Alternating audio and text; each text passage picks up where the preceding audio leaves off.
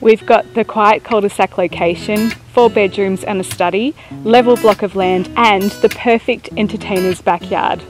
I challenge you to find a reason not to buy this house. For those aspiring to find the home that's going to accommodate the whole family, as well as the kids through the high school years, and act as the canvas for years of many happy memories. 7 Miranda Close is the opportunity that you've been searching for. The manicured gardens when you arrive really set the tone for what you're going to see when you step inside. The large living areas provide great spaces for indoor entertaining. There is also the added luxury of the spacious rumpus room to the rear.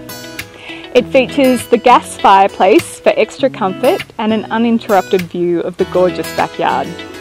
And in keeping with this tone is the stunning entertainer's kitchen. It sits in the centre of the living spaces and is well positioned for outdoor entertaining as well. The extended family is catered for with a study on the ground floor which could also be used as a fifth bedroom which is benefited by a full bathroom on the ground floor.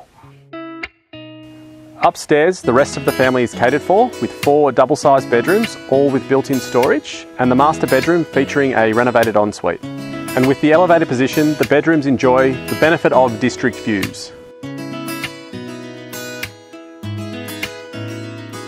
Now let's talk about the backyard. Buyers are always describing that they want a backyard just like this. Level grassed yard, pool, big covered entertaining area. And the big benefit is the huge entertaining space with the retractable awning. Perfect for any weather conditions.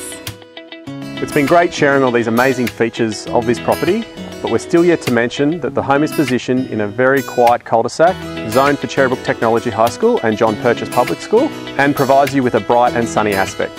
When Greg and I get really excited about a property, we know that you will too. So don't delay, give us a call so you can come and have a look at this home today.